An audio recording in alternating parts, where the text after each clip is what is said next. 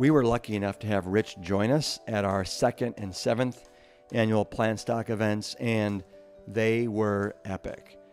But what's going to be beyond epic is our ninth annual PlantStock event, which is going to be streaming live and online around the country and the globe, straight from the Esselstyn family farm after a two year hiatus, August 14th to the 16th.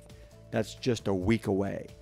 With this new format, I couldn't be more excited because everyone gets a front row seat to all the action. We're going to pair the science with the practical application, which means time in the farmhouse kitchen, cooking up a storm with Ann and Jane. We're going to have a world class video crew that's going to give you a backstage pass to not only the farm, but also the homestead inside and out. You're going to hear from the Brock stars of the plant based movement, including my father, Dr. Sarai Stanzik, Dr. Michael Greger, Dr. Michael Klaper, Brenda Davis, Tracye McQuirter, Marco Borges, and a slew of others. And if you can't watch it live, don't sweat it. Video access is going to be available with every ticket for a year. Partial proceeds will benefit the Esselstyn Foundation, a 501c3 public charity. And if you're having a tough time financially, we get it. Financial assistance is available. Just visit plantstock2020.com to learn more. I want to welcome you to the Plant Strong podcast, where each week we celebrate the heroes of the Plant Strong movement. Today is a very special episode because instead of looking forward, I actually take a look back and shine the light on Rich Roll. Rich and I both abandoned our what I'll call steady and stable normal careers around the exact same time back in the 2008-2009 timeframe to release books and venture into uncharted career territories that didn't even really exist at the time. We both had young families, and let me tell you, it was terrifying. But when you believe in something so much, and when you're being pulled so strongly in a direction that resonates with your whole being, you have to act. And fortunately, both Rich and I did. I recorded this interview at Rich's house when I was out in LA last fall.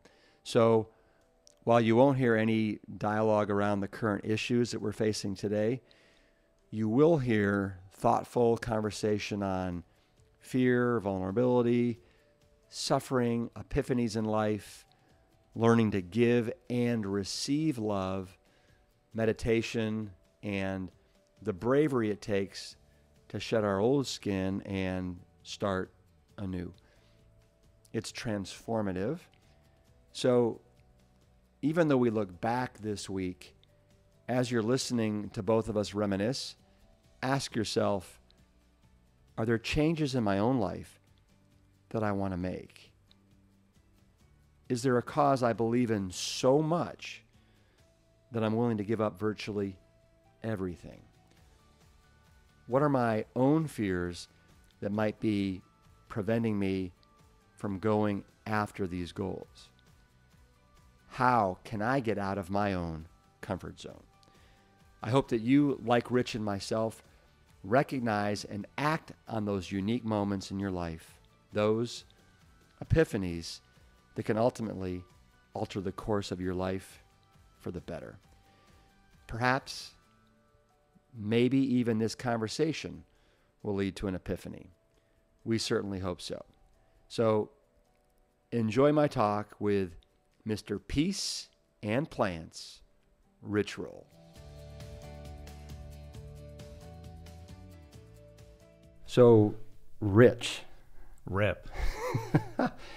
Thank you for having me out to your place. It's uh, I've never been out here before, and uh, it's quite dreamy to say the least.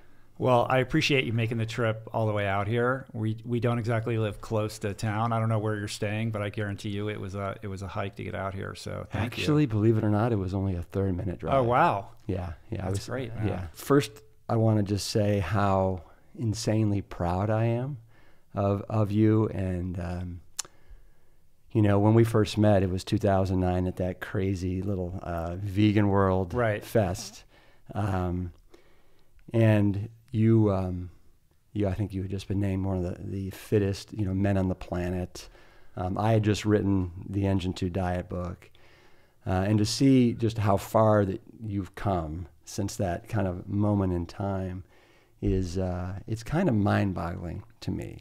Well, let me just say, yeah. first of all, uh, I want to thank you because you've been you've set an incredible example and you've been an unbelievable mentor and have really paved the way with this movement and the advocacy and the work that you do. It has inspired me for many years and it's been a long journey and it's cool that we're both in it to win it yeah. and still here and so it's an honor and a privilege to to talk to you today. Yeah. Well, and and, and the work you're doing, the number of lives that you're reaching, um, and and the good service that you're doing, it is. Anyway, it's just it's. Uh, I'm constantly going. Wow, Rich, way to be.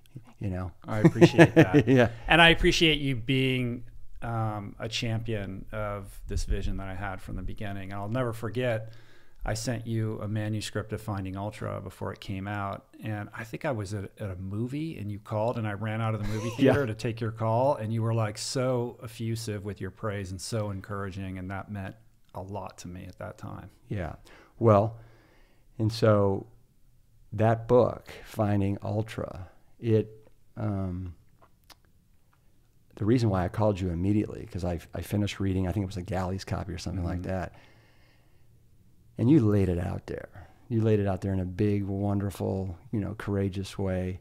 Um, the way the way you were so incredibly honest, the way you uh, left yourself just open to so much vulnerability, and that was definitely the feeling. Um, it, it was it was a very kind of a, a vulnerable place to be to kind of tell your story in that way. But I but I also knew, I mean, first of all, backing up, I was aware that Scott Jurek was writing a book at the same time that I was writing my book. And here you have the world's greatest ultra marathoner, you know, vegan, just an incredible human being.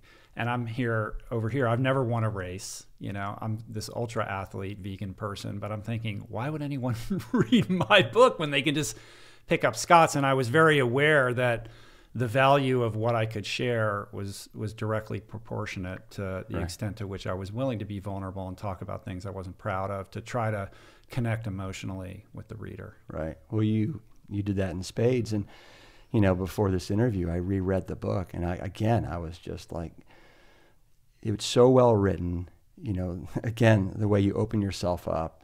Um, uh, downright incredible. And, and, it, and it, made, it made me kind of go back through my childhood, my life, and explore kind of places where I was vulnerable or not vulnerable. And it just made me think about how how many especially I think boys and men these days, they don't allow themselves to be mm. to be to be vulnerable. And and for whatever reason, we've kind of grown up thinking that showing signs of vulnerability is like a weakness. Right. When reality, it, it's probably one of the greatest strengths. Yeah, it's scary. We're raised from the beginning to you know put on put on the face, the mask, and go out into the world and and and be this you know warrior type personality. And I've discovered through pain that there's a lot of strength to be mined in that vulnerability. That's a lesson that I had to learn, though. It didn't come naturally to yeah. me. And I learned it in recovery initially uh, by learning to share my own story and being empathetic and a good listener to other people's hmm. stories. Mm. And I realized how much courage it takes to do that, and also how much freedom it avails you. Like, if you can really put yourself out there in that way and clean that closet out of whatever skeletons you have, then there's a lightness I think that comes with that, and it's very empowering. Yeah. Um, do you now in your life go out of your way to be like vulnerable just to like strengthen or deepen relationships? Well, I think I'm always doing an inventory of, of where I'm at and where I'm hiding things and where I'm being. You know, it's it's a it's a process. It's not like oh I was vulnerable here and now I always am. Like I have to resist the urge to you know to present myself in a light that perhaps isn't totally genuine and honest. But I mm-hmm. also think now there is a sense that vulnerability can be this superpower, and you see a lot of people doing what I call performative vulnerability, mm-hmm. like on mm-hmm. social media, you know, to get the likes or whatever. And I think that's that's something unique that I would not have expected. And I think there's issues with that um, because there's an ego attachment to that, right? So it's about like then turning the page on that and going even deeper and going even deeper. And it's it's a practice.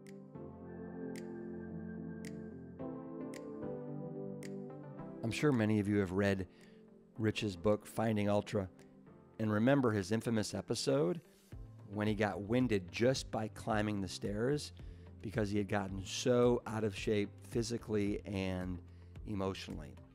It almost seems unthinkable that a former collegiate swimmer could barely climb the stairs at the age of 40, but that was his reality that he had to confront. It was a life changing moment and a wake up call to make some serious changes in his life. It also marked a significant moment of realizing that he may be living out a dangerous legacy, that of his late grandfather, Richard Spindle, who also was a world class swimmer, but had succumbed to a heart attack at an early age, long before Rich was even born. Was Rich sealing his own fate? And I had to know does he feel like his grandfather Richard is guiding him? Do you still feel I do, an attachment? I do feel that. Like I, I, just took you over to my container office, and I have a team photo of him, and also a picture of him in high school in his in his swimming trunks. You know, the full body oh, yeah, yeah, yeah. from the twenties. Um, so I look at him every day, and I think about that. You know, this is a guy who. Um, I'm named after. And if you look at the images, you can see my likeness within him. And he was my mother's father. He was a champion swimmer in the late 20s and, and, and early 1930s. Um, captain of the University of Michigan swim team, which was like the Texas or the Stanford of that era. Yeah. Um, his coach was Matt Mann. The, the natatorium at University of Michigan is called the Matt Mann Natatorium. He was a contemporary of of the Johnny Weissmullers of his day, and he held an American record in the 150 yard backstroke, which was an event back then.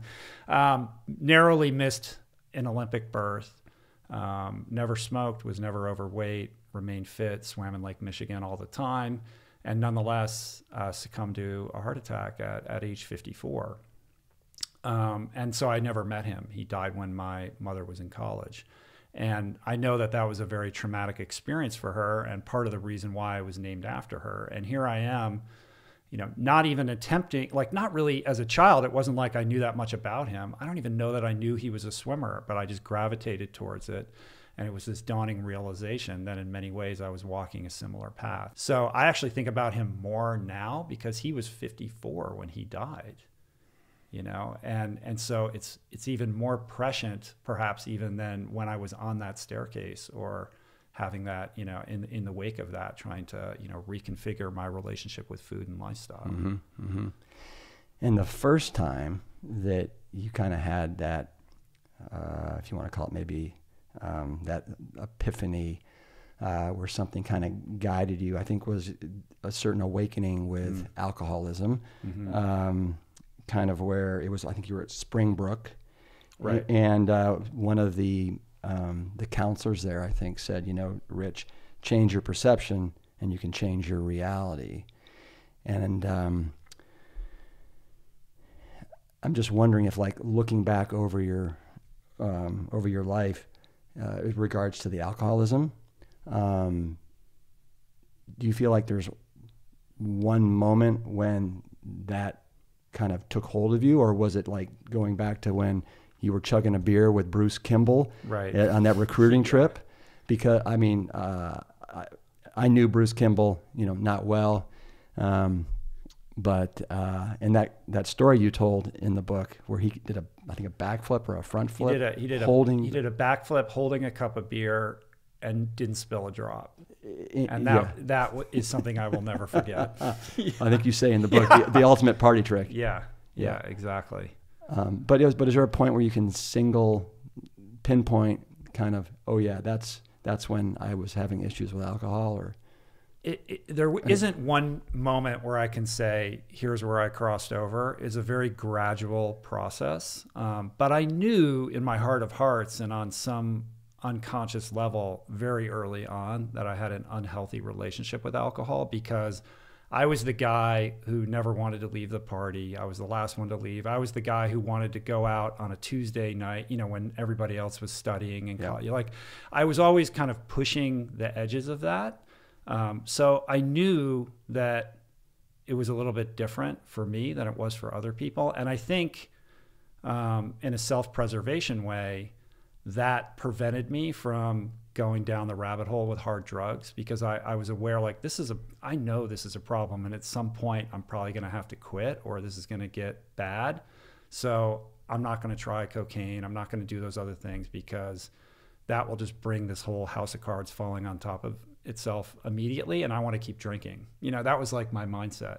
And it was a gradual process, uh, like this erosion of my soul and my ambitions and um, my my ability to even exercise self care. Like my window became very limited to where's my next good time, and that's really all I cared about. Uh, but it took a long time before there were serious, um, like external ramifications, like DUIs and Yeah. run-ins with bosses and things like that. I mean, that all happened, but you know, it was many years after that. Epiphanies. They are like a crazy lightning rod of much needed change. I remember an epiphany I had to write the Engine 2 diet after our early Plant Strong success at the Austin Fire Department. We had gotten a slew of media attention, and afterwards we got bombarded with with letters, with postcards, with emails and phone calls uh, about a bunch of firefighters in Austin, Texas, eating a bunch of plants. And it was about two and a half months uh, after we appeared on the front of the metro section of the New York Times. And at some point, I just realized, you know what? It's okay that I'm not a doctor, that I'm not a nutritionist, that I'm not a life coach. I, just by being who I am, a ex professional athlete and a firefighter, have the potential to reach and change people's lives because of who I am. And that's what gave me the confidence to go ahead and, and write my first book, The Engine 2 Diet. So, my question is what epiphanies have you had? Take a step back and really think. Have you experienced any magical moments that spark change? Sometimes it's a song or even an event that happens. Other times it's through a person that you cross paths with at just the right time. This happened to Rich when he was in rehab for alcoholism. Another thing that happened at Springbrook is uh, one of your counselors, his name was Stan, and he said, You only have to change one thing, Rich. And then he said, Everything. I mean, is that is that a daunting thing or is that like a, a good thing uh, when somebody says you only have to do one thing and that's just change everything Right. It's like a Zen koan. Oh, I'm like, what do you mean? Like, how well, do I even do that? yeah Um, and I think it was just a, a, a way of saying the way you're living your life is not working, dude. Like, you need to open yourself up to the possibility of doing things differently. And I know you think you're this smart guy, but your best thinking landed you here. So take a seat and Right. shut up and let let you know be open to what we have to offer you. And I need I needed that. I needed to hear that. Yeah. Well, as you know, I've become good friends with a guy named Adam Sud, Mm-hmm. who's been on your podcast. And Adam, as you know, became addicted to Adderall. And he felt like Adderall was the key and made him everything that everybody wanted him to be, the person that his father wanted him to be. Um, and it led him to a very, very, you know, dark, dark place. And I think in, on reflection, he was he was perfect. He was that perfect individual snowflake, but he just didn't have the perspective, and he he couldn't see it. And I look at Adam now, and I just see you know, just such a beautiful, amazing human being, right? I mean, mm-hmm. you, right? Look at you, and just see a, a beautiful, you know, loving, sharing, amazing, amazing man. But for whatever reason, sometimes we can't see in ourselves what other people see. Right.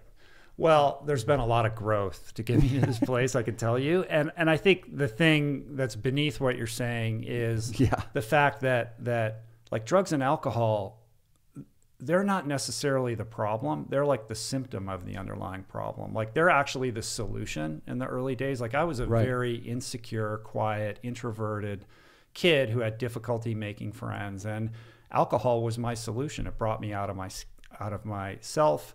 It allowed me to be a social animal. It, it, it taught me how to interact with other people. It ultimately turned on me, and it was a very unhealthy vehicle for learning those things. But um, that's the way it goes, right? And I know that Adam's experience with that was similar. And when Yeah. it all comes crashing down, you have to relearn all of those skills in a healthy way. And that's kind of the journey to to wholeness that anybody in recovery takes. Yeah. Um, and I'm, I'm kind of diving into your book here a, Uh-huh. a little bit. And, and um, you know, I don't know how often you do this and if, if this is, you know, if it's uncomfortable or not, but I just, totally fine. yeah. I'm just, again, because I just read it, I'm fascinated with it. And I just have some of these burning questions. Um, this is an intense moment in the book.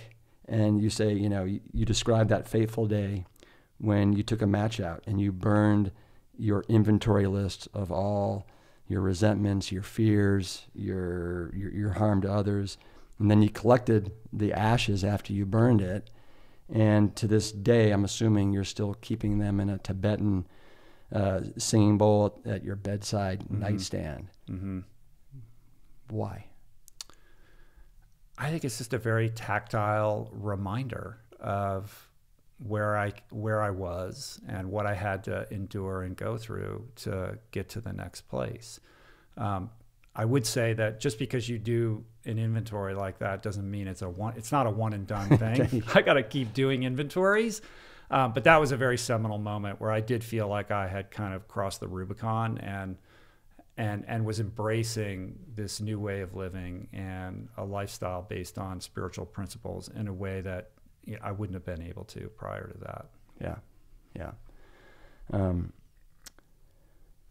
another quote that you have in the book I have come to appreciate that great beauty lies in destruction. The wedding that almost destroyed me was necessary to my ultimate salvation. And for this, I will always be eternally grateful. I'm just wondering um, do you feel like you've had several brushes with destruction or Oh yeah, for sure. I mean, pain. The other thing I always say is like pain has been my greatest teacher.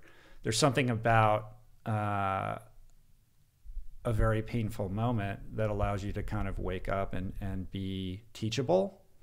Um, of course, the teachings are always available, but the receptivity generally isn't, and that's why it's so hard, so difficult for people to change. I mean, you know, in your life, you're helping people change lifelong habits all the time and you've had a lot of successes, but I'm sure you've had experiences with people who are resistant to it or just can't make it work.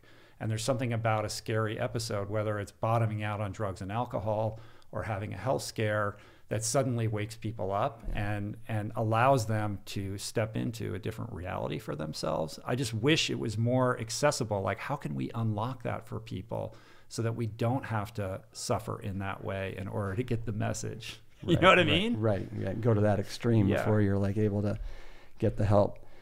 Uh, so you dedicated finding ultra to your wife, Julie. Um, you talk about how she's the coolest woman you've ever met, um, how she has taught you not only uh, to love, but also to receive love. What's up with sleeping on a tent on the roof? Is that something that I should like be doing with my wife? yeah. Everybody thinks that that's a referendum on our marriage. I mean, Julie and I have been together for 20 years at this point. We have a very solid marriage, um, which doesn't mean we don't fight. We fight, but we have the half life on our fights is very short. Like we have really great communication skills, and we have a you know a healthy, robust, you know, intimate life as well. Um, but I've had, especially as I get older, I've had challenges with getting restful sleep. And a couple years ago, as you know, we have this flat roof out here, and we would take the kids up there, and we could project movies on this wall, and we do sleep sleep outs like on the roof. And there was one night where I just slept incredibly soundly mm. under the stars on just a sleeping bag on the roof, and woke up feeling more refreshed than I had in a long time. And I and I announced to Julie like I'm going to start sleeping on the roof more. Like this is great. She's like fine. And then I would wake up with moisture all over me and all wet. So I was like I'm getting a tent. It just became one thing after another. And I've been sleeping in a tent um, pretty regularly for the last couple of years. And it just it helps me sleep more soundly. Something about the cold. You know we're in the desert here, so even on yeah. a hot day, it's cold at night being under all those covers, and I just I just wake up feeling better than I do. You drag a mattress in there? You want? I do. I got yeah, I got a mattress in there. It's not like I'm sleeping on the ground. Um, yeah, I've got a little twin mattress in there. Yeah, yeah, well, that's pretty trick. It's good, man. I like it. I've I, I've had my best sleeps on camping trips. Yeah. in sleeping bags on a pad. Yeah, where you're like in tune with, you know, Mother Nature. Right. So I feel I feel more connected to the earth that way. It's yeah. kind of a primal thing. And I, and I also think it's a little bit of a stoic practice. Like I I'm incredibly blessed to live in this amazing house in this amazing area. Um, and that does not escape me. But I sleep in a tent and you saw my little shipping container where I work out of. Like that's kind of my little world back there. So if everything went away, like it all just disappeared on me, like I've realized like I don't need that much. You know, I have a lot, um, and I like nice things and all of that, but um, but I'll be okay. And I think that that helps me um, calibrate my compass and how I make decisions about how I want to invest my time. Yeah. Um, in that that thing I just I read just before the sleeping on the roof with a tent. Uh-huh. Um, you talk about how Julie also taught you how to receive love. Yeah. Uh, why do you think it's so hard for so many people to receive love? We don't feel we feel we're not worthy for some reason of it. Yeah, I mean, I can't speak for other people. I can only speak for myself. But I certainly didn't feel worthy of it, or I felt like if somebody was was um, directing you know directing that towards me that it felt indulgent or undeserved mm-hmm. and i've had to learn how to be a gracious receiver of, of, of love and, and other good things in my life you know because i do i do feel like i have a deep seated um, sense of unworthiness that i'm constantly trying to work on and overcome let's talk about your your, your plant-based lifestyle. You credit that for kind of transforming a lot of things in your life, mm-hmm. uh, going from a couch potato to Ultraman uh, triathlete, and then doing that you know crazy epic five that you did. Mm-hmm. Um, do you ref- refer to your way of eating as vegan or plant powered way, or what? How do you refer to it? I, uh, it you know the labels get tricky, you know, because people get really caught up in them, and everybody has different definitions of what these things mean. Um, I would say, you know, I, plant powered, plant strong. You know, plant strong is your thing. I mean, I, am not completely oil free, so I don't feel like I can own that moniker.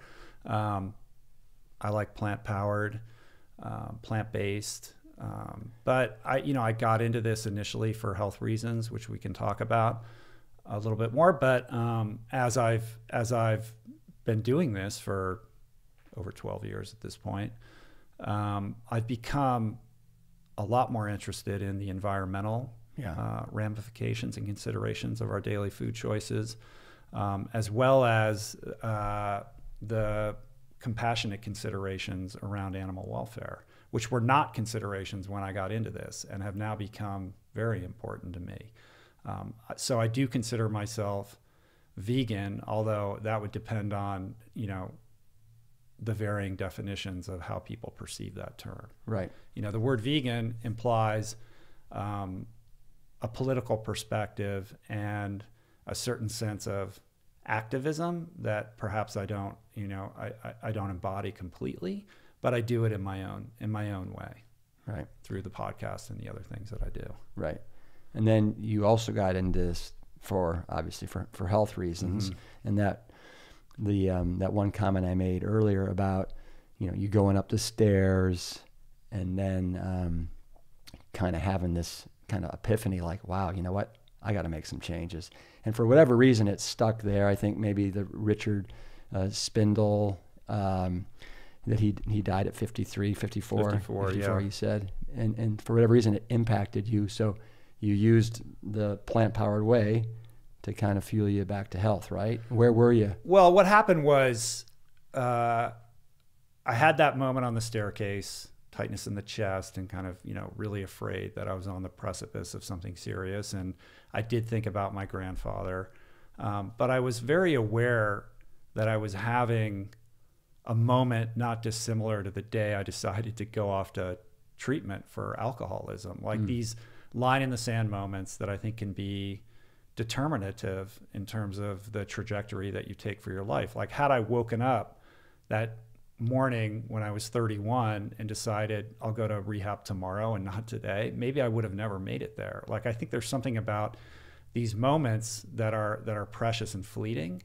And if we're present enough and we have the wherewithal to to kind of recognize um, their significance, they do hold the power to change our lives in dramatic ways. So when I was on the staircase, I thought of that day that I went off to rehab, and I realized like this is another one of those moments. Like I feel that it's it's about it's about willingness. Like I, I had it wasn't just like hey I should I really need to change how I'm living. It's like I actually want to. Like I not only do I need to like I want to, and I need to bottle this and protect it and channel it immediately because tomorrow I might just change my mind. So I grabbed onto it, and that's what kind of led me on this path of self discovery and this changing relationship with, with, with food. And I have to tell you that a big part of it was me doing some research and figuring out, okay, what do I want to do? How do I do this? What, what's what's the path forward here?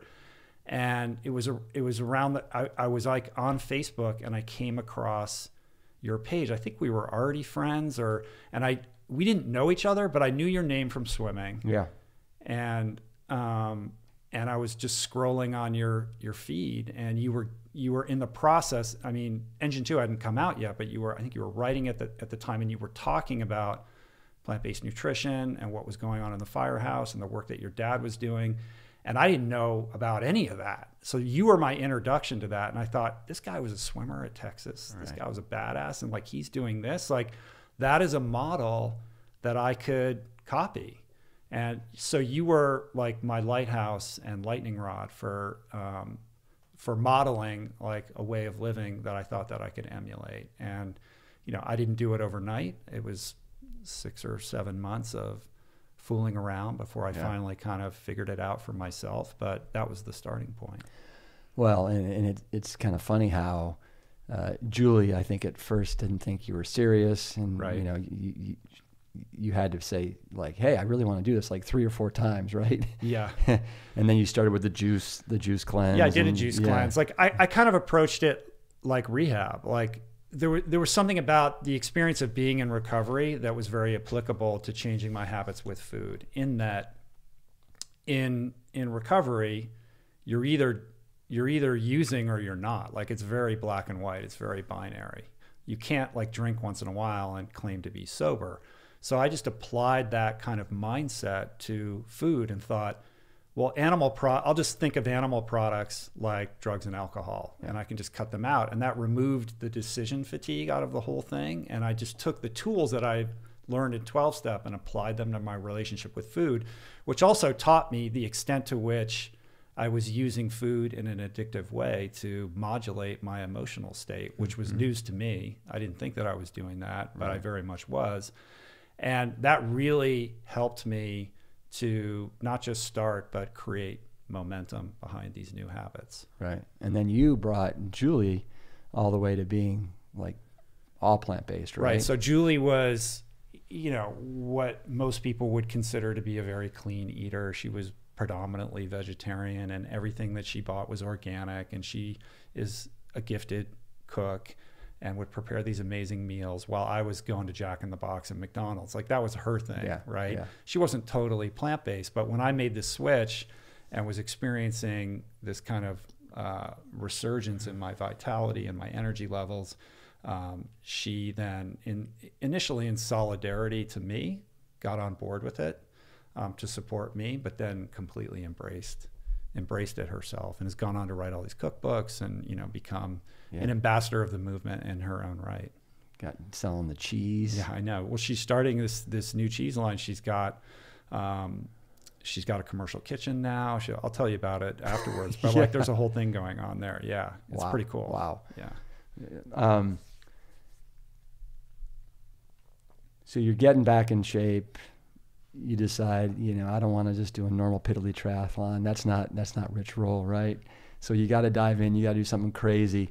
And I think it was you were reading something about David Goggins, you know, right. this this beast that had done the the Ultraman, right? Mm-hmm. And that, for whatever reason, caught your attention.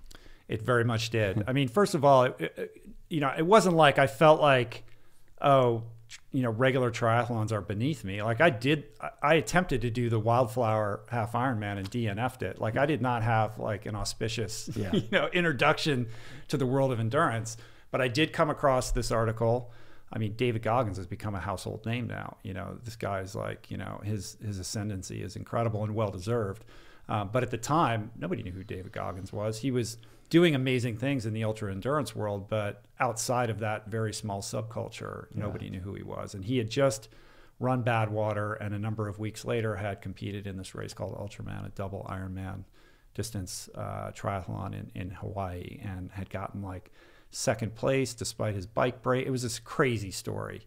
And there was something about the fact that he wasn't a natural triathlete you know, not really a swimmer, but he had, had been able to not only finish this thing but do well that that triggered something in me and, and, and made me think that's that's where I need to go. And that's where you went. that's where I went. Yeah. And then you and then and then and then yeah. and then how many years did you do Ultraman? I did it. My first one was in 2008, um, and that was just can I finish this thing and and survive? Mm-hmm. And I ended up I think 11th yeah. that year. I did pretty well. Probably um, learned a lot about I learned it. a lot. Yeah, I learned a lot. So I went back the next year intent on racing it. Um, led the race by 10 minutes after the first day, crashed my bike on the second day, yeah. which took me out of podium contention. And, um, but I was able to, I broke my pedal. It's like a whole crazy story, but was yeah. able to kind of get everything sorted out and back on the bike and complete the race. And I was the, I think I was the fastest American. I think I got sixth, if I'm not mistaken, that year. Yeah. Yep. And then and then what? It was it a year or two later? You and you and a buddy decided to do the uh, the Epic Five. Yeah, this guy Jason Lester, who I trained with and raced with at Ultraman, who's an incredibly inspiring human being. He does all of these races without the functional use of his right arm. Yeah, it's incredible. Um, and it was his idea. He's he had this crazy harebrained idea to try to do five Ironmans on five Hawaiian islands in, in, in five days, and well, how he long, how recruited me into this nonsense. Yeah, but were you so he suggested? Are you like that's insane? I don't want any part of it. Or are you like let me think about it? Or are you like oh yeah I'm in? No, I I was I thought I was like done. I was like I I have proved everything I need to prove to myself. Enough suffering for now. And meanwhile, like I was starting to get attention. Like CNN did a thing on me, and like the Men's Fitness 25 yeah. Fit. I was like I was like, I'm good. You know, I, I don't need why why go out and suffer more, you know? And he it was his idea to do this thing. He didn't ask me initially, and I was like, "Oh, yeah, that's cool. Like, let me know how I can support you." He finally asked me, and I was like, "I got to really think about that." And and ultimately, you know, to be completely frank, the amount of time I had been spending training, that's time away from my kids and my family and my wife. And it was like, it's time for them now. Like I need to repay that debt and be a present dad and, you know, get back to, um, you know, what's most important in life. So it was a family decision and Julie was very encouraging. She, she said, I think you should do this. And so that's how it, that's how it happened. Well, you're right. I mean, so I have something here where basically Julie, if I'm not mistaken, you were, I don't know if it was you were training for the Ultraman or maybe Epic Five, but you uh, you bonked like 60 miles away. You had to make it home, and you're like, "What am I doing?" Right. And then Julie kind of gave you one of a you know one of her I guess patented pep talks, and uh, the next day you went out and you ran 40 miles and you were there. I'm, I'm wondering, like, does Julie does Julie have to pull you aside very often and give you these kind of pep talks? And- Well, she's very good at seeing the big picture. And, you know, for context, during this time and for an extended period of time, like it was very difficult financially. Like I was practicing law less and less. I'm doing more and more of this training. Like it doesn't make any logical sense. There's no there's no career path here. Yeah. Um, and so it was it was really hard. And so I had back to this issue of masculinity. Like I called into question my trajectory many times. Like why am I doing this? Like why do I feel compelled to do this? Um, you know, I should be trying to get a job at a law firm. I should be doing this. I should be doing that. Like it's very emasculating to not be able to provide to the extent that you feel capable of, right? And every time I had those sort of, you know, crises of faith, she was the one who said, no, like, to me, it's clear the path, you have to follow this path. Like, the answers that you're searching about yourself and about how we're going to move forward as a family are going to be answered by continuing to pull on this thread, not by retreating and going back to what you know. Yeah. And so by holding that line, which by the way, everybody thought we were insane and we had friends and family members constantly saying like what are you doing? Like this is this doesn't make any sense. But it was her conviction that allowed me to to, you know, continue along this path that like allows me to even be talking to you today. Yeah. Yeah. I mean, I think what you said in the book was, yeah, when your purpose aligns with your faith, Right. right? It's like it, it, it happens. Like the, the Yeah. universe It opens doesn't up. happen the way you want it to, or it certainly doesn't happen on your timeline. I can tell you that. Yeah. Well, well, so you just mentioned that you had you had um, had a period there where financially it was kind of rough. Mhm. You, did you have to like? Did you retreat to like? Was it Hawaii or something like that? Or maybe retreat's the wrong word, but um, and Yeah, we were very close to losing our house. We had had cars repossessed. It got so bad at one point that they took our trash bins away. Like we couldn't pay our, our bill to have our trash col- trash collection you know, taken care of. I mean, it was bad and it was hard and it was embarrassing, really embarrassing. Um, and on that notion of like when your when your heart is true, you know, the, the universe will conspire to support you that's in my book and and the book had come out and I felt strongly about that and I thought um, and I poured everything into getting the book out there when it came out trusting that if I do this and put my all into it that some door will open at some point and the you know the path forward will be revealed. And that wasn't happening. Like we were in the aftermath of the book coming out and you know I could go speak at a veg fest for no money but I was struggling to figure out how I was going to put food on the uh, on the table. and the thought of going back and doing any At kind this of point- entertainment oh, law at this was point, it would- it would have just felt like defeat, okay. right? So I was fully invested at this point in trying to figure out how I was going to create a career out of this. Um, and we've had discussions about this over the years, and and you know, you created a model for how how you had done it, um, and I needed to figure out my own version of that for myself, and was struggling. Um, and then I got a call from a friend, and it was all he had also he had read Finding Ultra, and he was inspired. He's a big, you know, business successful business guy who had bought this property on the north shore of Kauai called Common Ground, and he was trying to figure out what to do with it. It was organic farm, and he's like, "I'm I don't know what I, why I want to do this, but I feel like I want your help in helping me figure out how I can turn this property into something more than just a farm. Like I want to do a community space, or I don't even know, but like I just feel like you would be a good person to help me figure that out. And like I don't know why. You know, like I was like, it's not This like is- I have experience in property development or anything like that. But this Yeah. was this was the one phone call and opportunity that we had, and he was willing to fly my whole family out to Hawaii and and you know pay us for the, for basically consulting, and we went and did it and lived in these yurts on this farm for a couple months.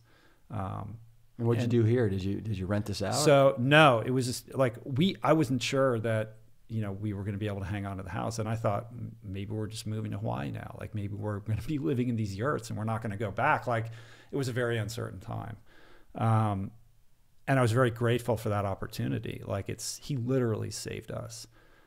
Uh, but I but after being on that remote island for a period of time, I started to get a little bit antsy. I was feeling very disconnected, and I'd worked so hard to try to begin a conversation around these ideas that I that I felt strongly about, and cultivating a little bit of community around that.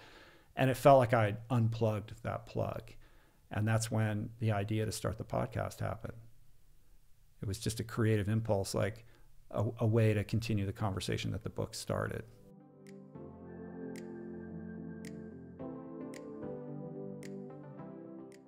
And my oh my, what amazing conversations he's been having the last seven years. What started as a podcast with his wife in a yurt in Hawaii has turned into one of the most popular podcasts on the planet with thought leaders, actors, authors, and, and more. He's now inspired millions of people through his thoughtful dialogue around plant based nutrition and activism. And most certainly, there have been episodes that have also left a lasting impression on him. Well, there, I I, had this conversation with this guy called Rip Esselstyn at Yeah. some point. What episode was that? Oh, shoot. Like two C- years Come on, man. That was. Um, it's not like that. Like everybody who comes comes on the show uh, has something to offer, and I learned from that person. But it's not like it ends up on a list and that becomes a daily habit. It's more like it goes into the gray matter and gets synthesized in some way. Yeah. you know. Yeah. Um, so it's not, you know, I mean, it's, I've learned a lot about, you know, I was very conscious from the beginning that, look, it's not going to be a fitness triathlon podcast. It's not going to be strictly a plant based podcast. Like, I want to have a, a very broad aperture to learn from all different kinds of people to continue my own personal growth um, trajectory. So, yeah, I've had people on entrepreneurs, business people, musicians, actors, doctors, athletes, like all kinds of people. And you know, I've learned I've learned something from every single person. And the amazing thing is that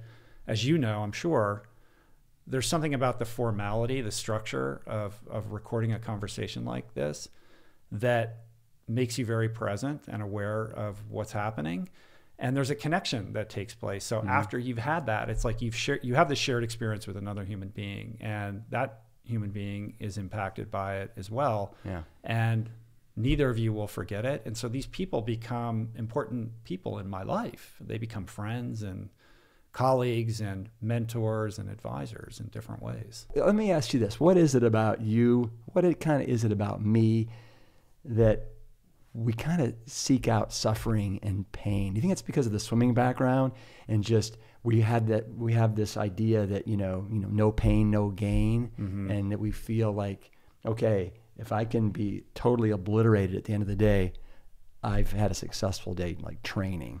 Yeah, I mean, I think that's part of it.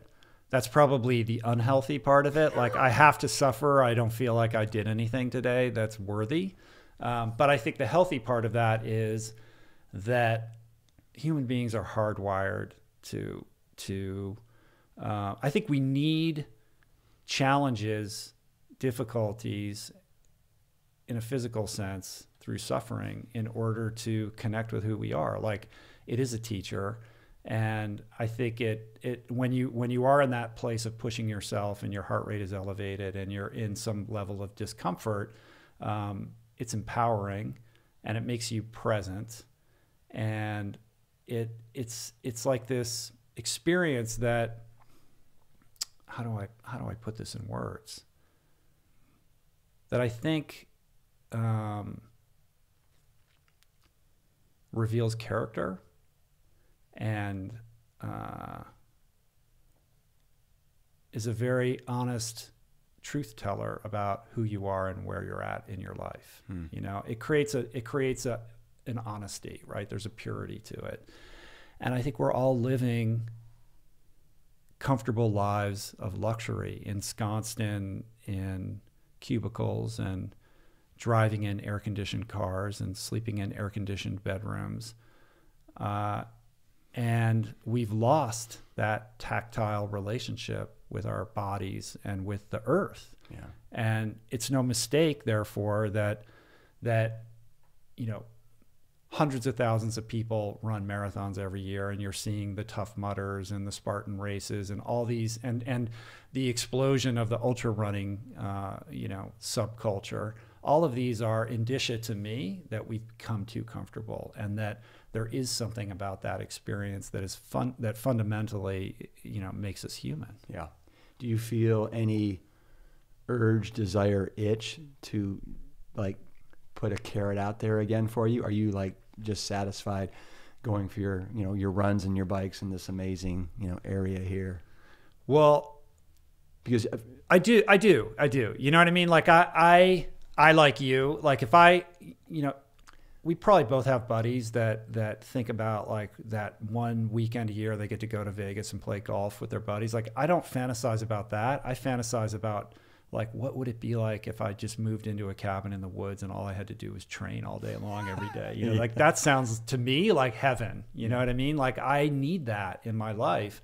I live a very busy, complicated life now, and I don't have the time bandwidth to do that. And I have to make peace with that.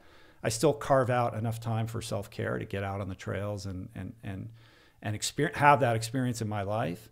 Um, and I do have the yearning to go and test myself, but I don't know. I don't know that I need to go and do some super crazy thing that no one's ever done before. Yeah. But I do feel like it's important for me to stay connected to that world. Yeah. Like whether it's once a year, once every two years, you know, getting out of my comfort zone and doing something that scares me a little bit. I think that that's important. How can you be more honest with yourself, and how can you test yourself in a way that that scares you and makes you uncomfortable? And I think the more that you do that, the more alive you feel, yeah. and the more present you are in the other areas of your life. When you look at that event that that uh, uh, Jesse Itzler uh Uh-huh. has every year, right? Yeah. Where people I did it. I just did it in Utah. Oh, was how was it? It was incredible. Jesse Itzler is an he's an amazing human being. He doesn't have to do any of this stuff. Like he's got a great life and he's all set, Yeah. right? But he created this event called 29029, which involves rent he rents out a mountain like a ski called resort 29029? because that is the elevation of Mount Oh, Everest. okay. Okay. And the idea is you hike up a mountain and then you, you take the gondola down and you repeat until you have achieved the, the altitude of Mount Everest, 29,029 feet. Um, and on paper, it doesn't sound that hard. You're like, oh, you just hike and you take the gondola down. Like, how hard can it be? Um, I did the one in Utah this past summer, and it was like a 2.3 mile hike up the mountain with I can't remember how much elevation gain, but you had to do it 13 times in order to achieve that, and you have 36 hours to do it. It was hard. It was hard, and what was cool, I mean, I was doing it with my hardcore core endurance buddy, so it wasn't like it wasn't going to break us. Like we were having fun and taking our time. But what was great about it was that it wasn't a race. They don't even keep track of of like who's in the lead or anything like that. It's irrelevant. It's 250 people that are there to have a shared collective experience doing something difficult and getting out of their comfort zone. And the majority of these people hadn't really ever done anything like that before. These aren't hardened Ironman athletes. These are like everyday executives who who you know are trying to like connect with themselves in a different way. And to see these people endure like this isn't a 10k that's over in half an hour. Like Yeah. these people went through the night. They didn't sleep. They just went 36 hours straight until they finished it with headlamps on hiking up this mountain. You, you too? We did we did 10 um, and then it was like 10 or 11 at night and we hit the hay and woke up the next morning and, and completed it. Now, did you So but it took it took like from 6 in the morning to 10 at night to get 10 yeah, in. yeah. And you don't you don't just sign up and do this. I mean, did you train specifically for this? I, I mean, I should have. I didn't really. You didn't. I mean, Oh. I'm out trail running all the time, but I didn't Yeah. do like training specific for this. So how, how how ugly did it get for you? It was it was uh Did you have to dig into the pain cave? it was hard. I mean, the el- the the the altitude was was tricky for me. I mean, a little bit into the pain cave, but you know, it wasn't like you would have you would have killed it. Oh no no no no! You should do it, too. It was No, fun. No, yeah, no. no, you know I'm swimming. Mr. These, Masters world record holder. yeah, yeah. No, that that that was. I'm I'm glad I got that one. But um, no, I I swim. I do a little bit of biking. Uh-huh. The, the running, I'm not doing so much of. Yeah.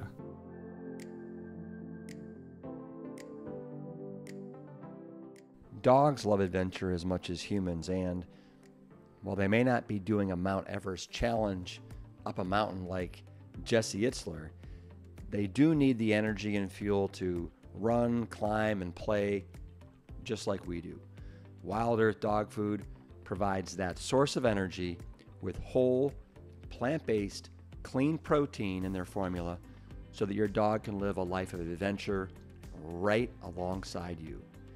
Try it today by visiting the episode place at plantstrongpodcast.com to claim up to 50% off your order.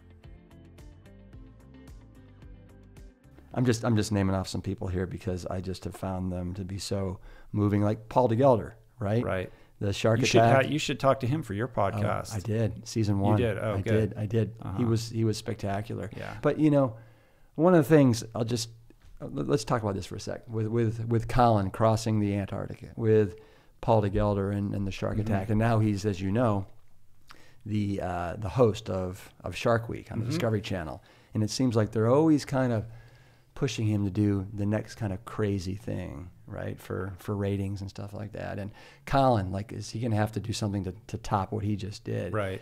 And it's like, at what point are you like, you know what, enough's enough. I don't have to like uh, put my life on the line again and Yeah. again and again. like there's something about what you just said like the the the athlete who's so attached to going further and longer and just can't you know can't ever get off that horse Yeah. um, that i think is or can be unhealthy um, and i've had this conversation with ross edgley who swam around great britain did you you hear about that? Swam all the way around Great Great Britain, and the Iron Cowboy, who did 50 Ironmans in 50 states in 50 had- days. It's like once you have a taste of a crazy adventure like that and you succeed, it's like, okay, what's next? And what's next? And there's pressure. Like now you got to top it. You got to do this. And I think you can chase that dragon to um, to a dark place. And at some point, I think the greater journey is about becoming emotionally whole. Like, are you chasing that for ego, or is there something you still need to discover about yourself and the world by virtue of doing that and having an honest conversation with yourself about about the motivation behind it? I think is really important. Mm-hmm. Mm-hmm. Uh,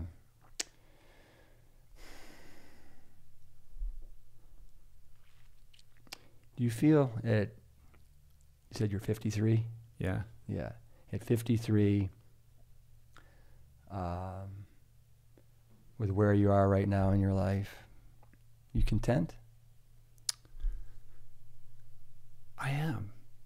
You know, I am. People ask me, "What's next?" or "What's the big What's the big vision? Like, what are you working on?" And I have ambitions and things that I'm working on and projects that excite me. But if this is all that it is, if tomorrow the lights go out, I'm good. you know, I I, I don't need Yeah. anything more than what I have. Right. You know, I don't need. Look, if the podcast gets bigger, that's great. If I can get the what, I- but you know, truly, like, I've built this thing. I have this platform. I have the privilege and the responsibility to, you know, shepherd an audience of people to a better place in their lives, to be an agent, a provocateur of positive change. And that's such a gift. Like I can't think of of anything I'd rather do with my life. And I'm Mhm. fully engaged in it. It's incredibly meaningful and and uh, rewarding. Um, and it, it doesn't need to be anything other than it is. You know, I mean, I want for nothing. Like I just like I told you, I just had my birthday, and Julie's like, "What do you want for your birthday?" And I was like, "I, I don't want. I don't need Yeah. anything. Like, I just want. I want to be with my family, and I want to experience love. Yeah. You know. And so my my goals are how can I deepen the intimacy that I have with my wife and my kids, and you know, raise them to be the best humans that I'm capable of, of doing. And, you know, I get to do, turn on these mics and do this thing. And occasionally at, people ask me to come and talk to them or whatever. Like it's all, it's all gravy, man, you Yeah. know? And, and so I guess it's my version of what Paul de Gelder had to say. Like, I don't fear death because I feel very alive and fulfilled in what I'm doing. Hmm. Um, I don't feel like I have unfinished business and, and I'm just, I'm grateful for what I have. And I didn't have to get bitten by a shark to experience that. You know what I mean? You got bitten by other things. Yeah. But yeah, uh, you you recently did your big live podcast Right. with, with Paul Hawken. Uh huh. Um, was that just lights out gangbusters? Were you thrilled with how that turned out? It was incredible. It was incredible. Um, Does it make you want to do more of those? yeah. I mean, the idea was knock it out of the park with that one, establish that I can fill a room of 1,100 people so that I can engender the confidence of venue bookers Yeah. across America and set up a tour for next year. So, yeah, I'm still ambitious. Like, that's kind of the evolution of the podcast. And I think a big part of that is the fact that that it makes this digital thing analog, right? Like we're we're having this conversation and it's real for us, but it's an abstraction for everyone that's going to listen to it. Um, how can you how can you cultivate greater communi- communi- you know, community and connectivity amongst the people who are impacted by it? Well, you do that by bringing them together, right? Um, and that's what I wanted to do. And and we learned a lot through that experience. Um, I mean, to have Paul, like that guy's amazing. You know, Yeah. what, a, what a beautiful human being he is, and the work that he's doing. So the whole thing was like really an extraordinary experience, and I can't wait to do more of them. Mm-hmm.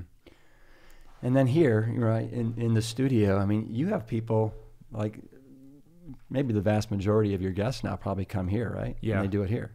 Hmm That's pretty cool. Yeah, wasn't always that No, way. I, I- was a traveling salesman for a long time. Yeah, I know. Um, and you know, occasionally, like I still take my kit when I go when I when I get on a plane and go somewhere, so I can grab interviews here and there. But for the most part, ninety five percent of them now, I, you know, I have people Yeah. come here to do it. And so I'm looking at this chalk wall here, and you usually have the, the, the person that you interviewed, their name right there, and maybe you know some drawings. Do you do that? Yeah, I do that. You do. Yeah, And so is, is that kind of um, help get you into that headspace and a little bit. Like I think it's a nice touch for It the is. guests too, because they come in and they're like, "That actually took time for that guy to do that." Like Yeah. I feel welcome. Yeah. You know, it's going to be okay. Like it's a way of saying this is a this is a this is a warm place where um, mm. where uh, you know you can feel comfortable when you look in the mirror, do you like what you see? most of the time. Yeah, I, I, I hear you Yeah. there. I'm, I'm the same way. Yeah.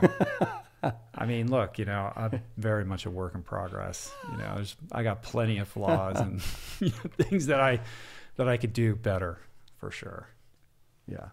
Um,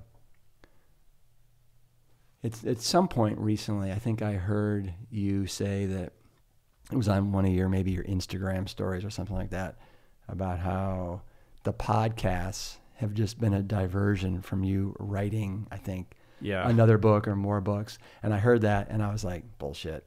I, now, now, just hear me Uh-huh. out here. Yeah. And I was like, bullshit. I go, you, there, you've probably got, and I don't know, I'm just making shit up right now, but 10 million, 20 million downloads of your podcasts over the years.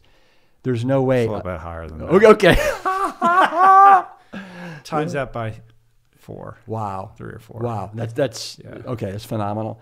But I don't see any book having that kind of reach. Yeah. So if, if your goal is to reach people, Mhm. I think what you're doing with the podcast is like is spot on, right? So I mean, so uh, anyway, yeah, I just- mean it's that's true. Like I can that that that's a that's the most powerful argument against writing another book. Like I flick on a mic and I reach way more people than than you know if I was to write a book, I got to take a year and a half and focus intently and deeply on that, and it might reach a fraction of the audience that I'm reaching every every every single week on the podcast. However, I still think that the written word has its place, and there is an ephemeral quality about the podcast. Like it's you know, nobody goes back and listens to episode ten. You know, it's like it's kind of that's ancient history, right? But there's a permanence to Yeah. a book and you know a tactile experience um, that comes with that that I think is important. And I and I do I do feel like um, you know I have a facility for writing and I do have things I want to say and it's hard when you're doing the podcast all i mean this really is a full-time job pretty much so um, carving out the time to do it just becomes harder and harder and easier to dismiss Yeah. Well, and then and then the the write ups you do for each.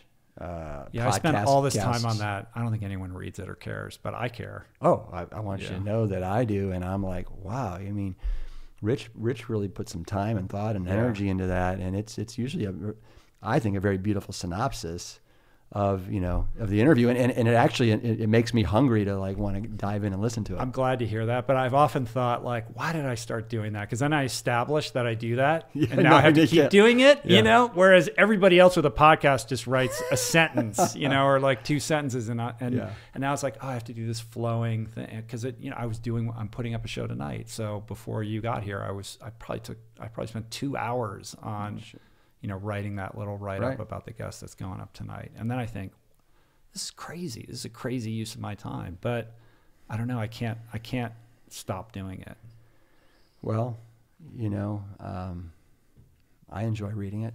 good i'm glad i feel better Uh, you and I have been in the plant based space for well, well over a decade, mm-hmm. right? Um, I feel like we are at a pretty amazing place where this thing is going to just bust wide open. The, the, we're going to see a tsu- tsunami fall upon us. Um, are you feeling the same way? 100% 100% i mean look around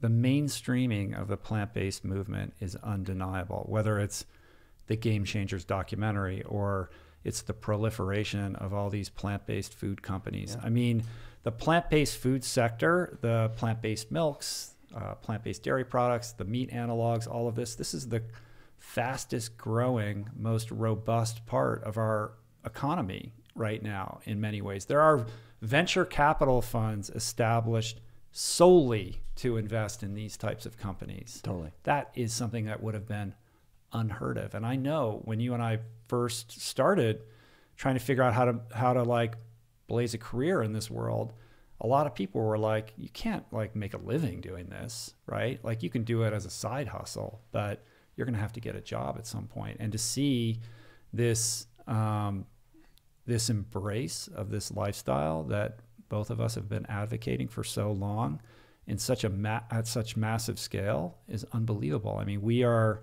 if we haven't reached the tipping point yet, we're we're inching up to it pretty quickly here. Yeah. No, I, I read an article just the other day that talked about how by 2030, the livestock, just you know, animal agriculture, will be obsolete. Right. It's gonna be death by a thousand cuts. The uh, the podcast that I put up earlier this week was with Pat Brown from Impossible Foods, and that was like that's the drum that he's beating. And Yeah. you know his ambition, his mission is audacious, like to end animal agriculture. But Yeah. look at the impact that his company has already had in Yeah. that space. And ask him, and he'll tell you he's just starting. As will Ethan Brown and yeah. everybody else who's in that space. Yeah. Well, and the other thing besides, um, I guess you call them these these plant-based meats, but there's also going to be there's this thing called precision fermentation, where it's almost like you're actually you know growing, you know, beef, chicken, Right. whatever. Mhm. And it's right now it's just the cost you know to to grow it is so ridiculous. But the prediction is by 2030 it'll be 10 times cheaper than what it is right now to basically you know grow a cow, Right. cut it up, all that stuff. And I mean, so whether it's plant based, whether it's actual animal that's gr- grown in in a cell in a lab, actual you know animals out in the fields wherever they are, you know, uh, in pens, that's going to be obsolete. No Yeah. more. No more. right? It'll be eradicated just like smoking cigarettes is less than 20% of the population is now smoking cigarettes, right? 93% of the population Mm-hmm. now is what? Now eating meat, right? Meat byproducts. So that would be cool. If 2030 we can get Strange times. below 20% of. America eating It's meat. crazy. Yeah. It's crazy. Yeah, and then and then everywhere I look, climate change, right? Yeah. w- people weren't talking about this No. 10 years ago. What's great is that now there are so many entry points for people to embrace this lifestyle. So somebody who's not compelled by the health argument or by the the you know the compassion argument, uh, very well may be moved by the environmental concerns of our food choices or you know any version thereof. So. Um, I just think it broadens the lens and allows more people to see the incredible benefits of Yeah. living this way. Yeah, and uh, I, and I'm wondering like, in how many years is it gonna? There's gonna be such a stigma associated with eating meat hmm that it's similar to like smoking cigarettes. It's like uncool, Yeah. uncool, dude. Totally. And on top of that, how about the civil rights argument? Like, I think that we will look back on the way that we've treated all these animals and just be appalled, right? And think, how could people have done that in the way that we look back on the way that we've treated indigenous cultures? Yep, yep, absolutely. Like you said when uh, you first interviewed me, I think it was in late December, maybe 2016. You said it checks every box, Yeah. right? It checks every box. Right. It's like it's rigged. Nature rigged it. And they're like, why don't you, can't you see what's right in front of you? Yeah, You yeah. know? Totally. And now people are waking up and realizing that. One of the things that I'm trying to get better at, and I'd love to get your advice, opinion, is being mindful in um, in maybe starting a, a, a meditative practice. The only form of meditation that I do these days is I go out and I swim. I go out Mhm. for a bike, maybe a run. So it's like meditation in motion, Yeah. but I don't ever really sit still Yeah. and um, I'm wondering what any recommendation. How do I start? Uh, are, are the benefits instantaneous? Does it take a while? The benefits are not instantaneous. Uh, it's sort of like getting back into the pool when you haven't swum in a couple of years. Like you're going to have to, you know, go through some discomfort before you start to see results. Or when you begin a new dietary protocol, it's not going to happen overnight. But you're comfortable with that. You know what that process is like. And I think for myself, for many years, I sort of just said or you know declared that my meditation was riding my bike or going to the pool or, or running. Um, and I thought that it was the same thing. And I said, that's my meditation. What I've realized is that there is a qualitative difference between a formal meditation practice and the kind of active meditation mindfulness that you Mm. that you get from physical activity um, and the difference really is in there's something about cultivating a practice of stillness that allows you to be present in your life and be the observer, the objective observer of your experience from a more detached perspective. At the very least, in a very tangible way, it gives you like that extra, it's almost like time slows down and you have that extra moment. Like, let's say you're walking into a situation where you know it could be fraught with conflict or somebody's going to push your buttons rather than just instinctively react like you always do and and perpetuate whatever cycle you have with that individual you get that extra moment. And you can think like not think you can you can calibrate your response. Um, and that in and of itself is like a superpower. Hmm. you know to just be like oh i was going to say that but like actually it'd be better if i said this or what am i really trying to do here? Or where is that person really coming from? You know that is like a huge thing i think. Um, and I, it's just allowed me to be more aware of when I'm like running a pattern as opposed to actually coming from a conscious place or the best version of what I have to offer a situation. Uh, how long ago would you say you and Ernest started uh, your your practice? I mean, you know, first of all, let's be clear. Like, I'm not perfect at this, and I do it in like I'll go, I'll go, I'll go on runs, and then I'll get interrupted, and then I get back to it, and it's like, you know, I, I could I could be a lot better with the consistency of my practice, but I do know. I mean, it was it was I don't know how many years ago, but maybe five or five or six years ago, um, I started doing it with some regularity. And like I said, I'll have seasons where I'm really good and then I get off and then I have to get back on. But when I'm doing it consistently every day, mm. anywhere from usually 20 minutes, but sometimes it's five or 10, um, you know, 30 days into that, like you start to really feel different. And you, you, you have to kind of do that to get to that place where you can recognize mm. the benefits of it, just like anything else. Mm. Do you and Julie uh, talk much about your your meditative practice? She's much further down the line in turn. Like her practice is like she doesn't let anything get interfere with like her morning situation. She's really good about and what, it. What kind of time does she carve out usually for that? I mean, she'll do like you know she'll also combine it with like tea and journaling, and it's it's like a whole thing. I mean, it's probably a forty minute thing that uh-huh. she does, but she'll wake up at like four in the morning, four thirty in the morning, hmm. pretty regularly to do it. Yeah, I I know in your um, you had an interview with uh, Tim Ferriss uh-huh. where he went to this Vipassana course, and I, right. know, I know about it because I have a younger brother, Zeb, who's been to like 10 of them. And oh, wow. 10 days, uh-huh. a vow of silence. Right. And you're just basically, you know, meditating. And uh, I think Tim was saying it almost pushed him over the edge. Yeah. In, in his interview with you. Yeah, he was like, uh, I don't necessarily recommend no, it. You know, no. it sounded like really hard. And I've heard that from other people as well. But what did your brother say? I mean, oh, obviously he's oh. getting a lot out of it, or he wouldn't keep doing it. Oh yeah, no, he, he well Zeb, he's always kind of had a bit of a spiritual uh-huh. kind of bent to him, and for five years he went out and was kind of practicing Buddhism, you know, kind of off in the wild. Mm-hmm. Um, but he loves the experience.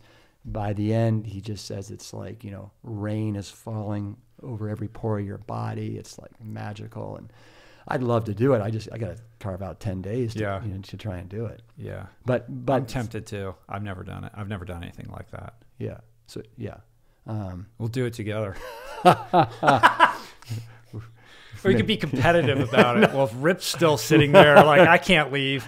yeah. Um. All right. So I'll. All right. I'll just. I'll. I need to start. I need uh-huh. to start being mindful. Yeah, and, and the other part of your question is like, how do you start? And I think yeah. it's never been easier. Um, in the same way that the the whole plant based thing is blown up, like the mindfulness meditation space has exploded as well. So um, there's all these apps now, whether it's Headspace or Calm. Uh, yeah. Sam, Sam Harris is waking up is great. He has all this, you know, really robust instruction that's very easy to understand and he kind of takes you through you know the practical implications of what you're doing and you can set timers and you know set aside the time and it's just like anything else you make it a priority you know it's not like it's that thing where you say i never have time but you know as well as anyone else yeah. for things that are important you make the time yeah. so it's a question of whether you you're willing to make that decision to prioritize yeah. it so on a day-to-day basis right now with everything you got going on you know eating the way you eat, being mindful, trying to get out for a run or a swim or a bike, your family, uh, you know, doing your all all your work. Are are you are you planning your days out? Are you flying by the seat of your pants, or is there like some in, in, in intention behind like mm. each day and each week? Um, a lot of it is flying by the seat of my pants um, especially since our you know our like our family is now split between these two homes because yeah. of my teenage daughter's schooling and and every day it's like all right what do i have today and where's julie and who needs to be driven where you know a lot of it is like transportation logistics of moving kids around and things like that and a lot of that dictates like how i set the schedule mm-hmm. um, but i do have to be regimented like I know the, there are certain days where I'm at, where I'm here, and that's when I schedule my podcast and the meet. You know, like but I try not to schedule anything before 12 because that's when I train and do these other things for self care. And that doesn't, I don't always succeed at that. And then there's trips and things that come up. So there is forecasting. Like I know these are the things that I want to be doing in the next year or several months. And I'm plotting out well into the future on that stuff. But a lot of times, you know, my palm is in front of my face and I'm just looking at what needs to get done today. Hmm. W- With the podcast, do you do you get nervous at all before any any of your interviews, or is this just like so like second nature to you? It's you get excited, or I do. I do get nervous in an excited way. Um, and I think, I mean, look, I've done like 500 of these things right now. So it's like, if, you know, if I don't know what I'm doing by now, like I'm never going to know. And I, you know, but there's always ways to do it better. And I, and I go into every one of them with this earnest desire to make it as great as I can make it. Like I want it to be the definitive conversation with that human being. You know what I mean? So I put that pressure on myself and you know, 99% of the time I don't achieve that, but that's that's. The, that's what I go into it for. Um, and uh, and whether it falls short or not, like I, you know, there's only so much control I have over these th- these sorts of things, and I've learned techniques and ways to kind of make it the way that I wanted to make it. Um, but I, I, take it I take it seriously. Like I do a ton of research. so what? what like know. when you say you do a ton of research, like um, couple hours. I mean, it just depends upon depends the on the interview. guest. Yeah, I mean, I do a lot of authors, so I do my best to read, you know, their books, and sometimes like I get halfway through or Yeah. seventy percent through, or I listen to the audiobook, but I really try to be as steeped in in in their world as I can. Like I, I just try to enter their world for a couple days. So I could be listening to three different audiobooks at the same time because I know I have these people coming up. So I just try to be, you know, kind of in it at Mhm. all times. And I'll open up like 30 tabs on a browser and just go deep into So are you doing? know, Are you doing world. audiobooks? Or are you reading? Or because of all? It depends on the kind of book Yeah. too. Um, but audiobooks, because you know I go out and train too. So if I'm on my Yeah, bike or I'm running, like I'm also preparing for a podcast by listening to what this person has to say. But I think there's also what I've also learned is that um, you can prep too much Yeah. for somebody and then it's stale because you know the answer to every question. So there's a certain um, spontaneity that that you want, and that only comes with you know the curiosity. It's it's hard to be curious when you know every when you know everything about the person, right? Mm. And so I think it's more engaging for the listener if you're well versed but not an expert. Well, you know, so when I I was uh, starting this, I was like, hey, I want to get in touch with you and, you know, ask you a bunch of questions about doing a podcast. uh huh. I never, I never actually followed up on that, Right. which is really stupid of me, right?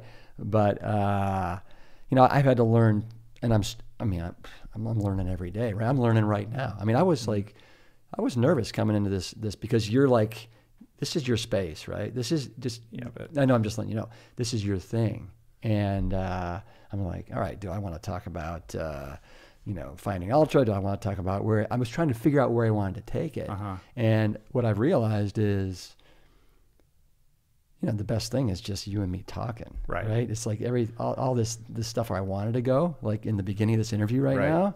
I'm like, oh man, You have to allow it to go where it wants to go. Like there's a letting go. Yeah. You know, and that that comes with just showing up and being present. And if if if I say something that triggers something that Yeah. makes you curious, then that's the thread that you pull. yeah, i i You know. i- i- exactly. and you're in that interview where they have their list of 10 questions or whatever and they ask you the question and you Yeah. you blah blah blah and you answer it and they go awesome right. ask you the next one right yeah, yeah. and it's so dry and uninteresting because that person is not present Mm-mm. for what is actually happening And, well, and that and that to me is the most important thing in doing right an interview and doing Mhm. a podcast. And you have to have that. You have to let go, and you have to have faith that that you're going to be present. yeah And and so much. And, and there's a real art in listening, right? yeah And not just Well, think about this. Have you ever been at a dinner party and been in a conversation with someone and and like couldn't think of what to ask the person? Like if you're listening and you're engaged in a conversation, like you're not thinking like what's my next question? Right. No, you're you're just not. you're just Yeah. responding to what's happening, Yeah. right? Totally. When we were talking, and, and when you interviewed me the first time, uh, I talked a little bit about my relationship with my father Mhm. and um, how he was not a fan of me continuing to be a triathlete after a, a certain number of years. He thought I was kind of on a um, on a fool's mission, and it was this phantom mistress, and it was not healthy, and that I was avoiding getting married, getting a real job, and all this other stuff. And my father and I have a a much healthier relationship now. But when I was reading Finding Ultra, eh, you know, the relationship with your dad and some of the resentment I think that you had uh, with your dad, and I just I just want to know, um, and now that I have a son, right? Right. I mean, where are where are you with your relationship with with your dad? My relationship with my dad now is really good. It's, it's really good. Um, it's not as enmeshed as yours because you guys like work We together. work You're- together. You work together. Um, but we went through a lot, and you know, I I put him through a lot, um, and then he put me through a lot. You know, like we've had we've we've you know we've been at each other for a long time, but we finally arrived in this place of of of, of love and mutual respect that feels really good. Um, part of that is, um, you know, a lot of growth that I've undergone, but also growth that he's undergone as well. Um, and what's great is now, like now he writes books. He writes these historical biographies. So he just wrote this book about Marshall that came out, and it's like being well received. And he's doing, like, he's doing an event in New York with General Petraeus. Like, it's crazy, you know. So I'm gonna go for that. And he, my parents came out for the live event, and that was like, for them, like they're trying to wrap their heads around what I do, and they don't quite get it, but they re- like I had my dad on the podcast, and so he was able to um, experience Oh, like I the gotta listen to to that. Yeah, and we talked about our rela- we went you know pretty deep into our relationship on that, which was pretty cool. Um, so there's been a ton of healing there, and you know I think he finally kind of understands like what I do and what I'm about, Hmm. and and and and he's proud, which feels good to me Yeah. because he was like for a long time he's like what are you doing you know um, and i get to be proud of, of him in this like third act with him being this author which is great and and you know to have him on the podcast and try to support what he's doing is a pretty cool way of of trying to pay it forward for him too Hmm. Is he still driving a MG midget? he finally sold that thing but only recently he kept it up in michigan for a long time Yeah. i mean that was i remember when he bought that thing i was like 13 or something like that Yeah, I had an old girl girlfriend that had an MG midget, and uh, I drove that thing around all the time. Yeah. So when I saw that, you know, when you wrote the book, that he was driving or had one and still had it, Uh-huh. I was like, oh, I got to find out if he still has that thing. yeah yeah. Yeah. Every once in a while, I'll see an MG on the road, and I'll, I'll be like, "Dad, I saw an MG," and he's like, "An MGB or a midget?" You know, it's like it's a there's a difference. Like not many midgets around. Yeah, yeah. Um, well, like Rich, go kart engine in it.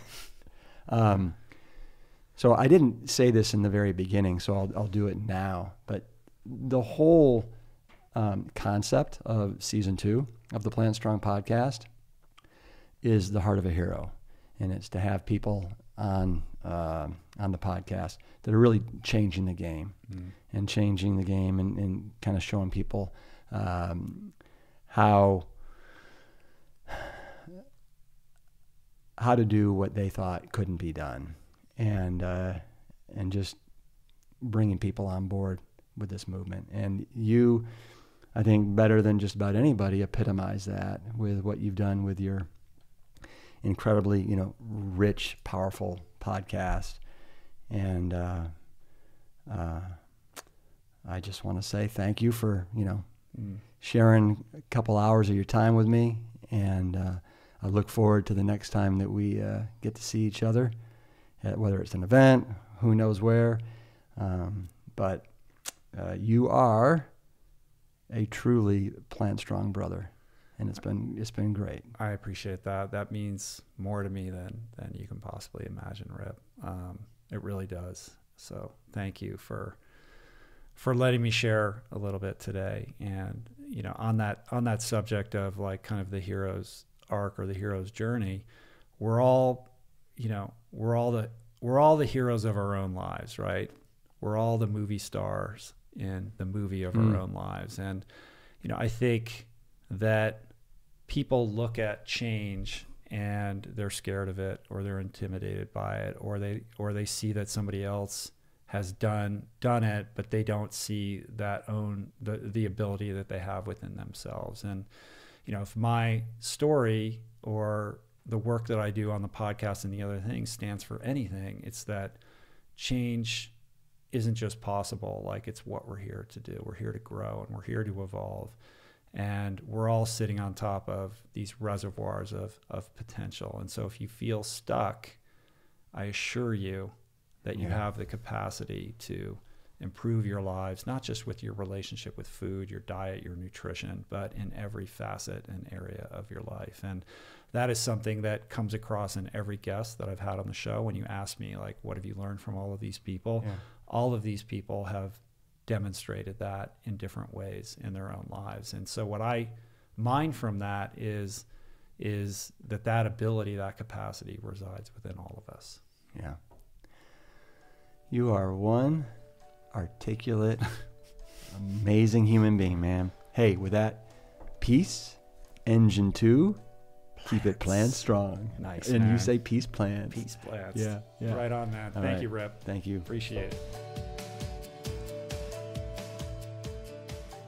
On behalf of Rich and myself, thank you for listening and inviting us into your cars, your kitchens, your minds, and your hearts.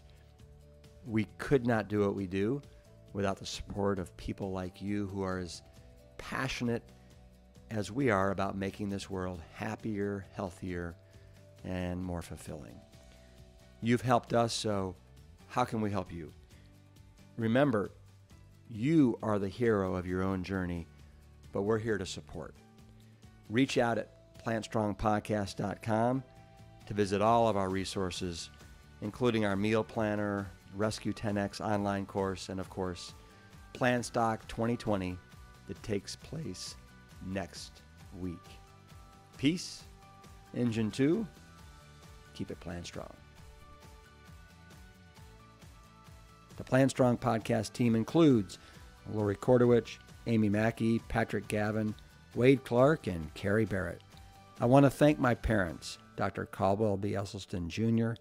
and Ann Crile Esselstyn, for creating a legacy that will be carried on for generations and being willing to go against the current and trudge upstream to the causation. We are all better for it.